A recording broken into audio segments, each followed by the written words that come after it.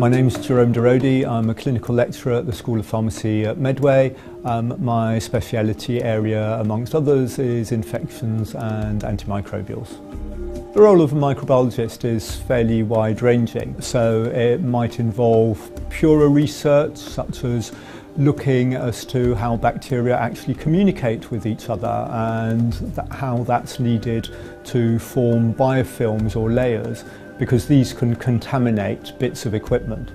On the other hand, it can be more applied and specific, like finding out which bacteria are resistant to which antibiotics and why that's the case.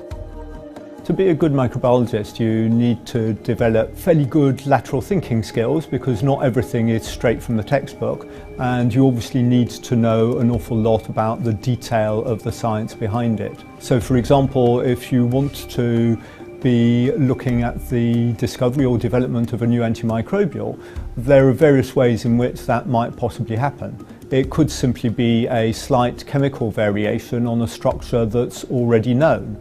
On the other hand, uh, it might be a question of collecting samples, such as soil samples from all parts of the world, um, and suddenly discovering that there's a chemical in one of them that actually has antimicrobial action. I started off with a straightforward undergraduate degree in microbiology, actually happened to be in microbiology and genetics, and then went on to do a master's with a research project in medical microbiology. In terms of training, it really depends where and how you're going to apply your microbiological knowledge. Anything from two to six years, I guess, depending as to the field and the speciality that you're working in. Microbiology has a real importance to everyday life, but it goes far wider than that in our modern world. A number of specialist industries depend on microbiology for their function.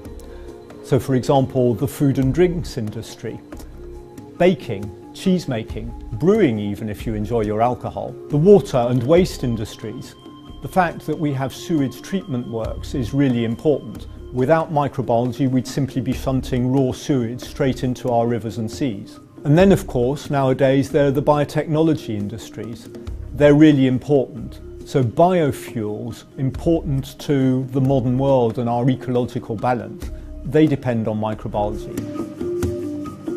Microbiology isn't just limited to health and disease, but actually touches every aspect of a modern society's everyday life. So as you can see, it's really important and really exciting.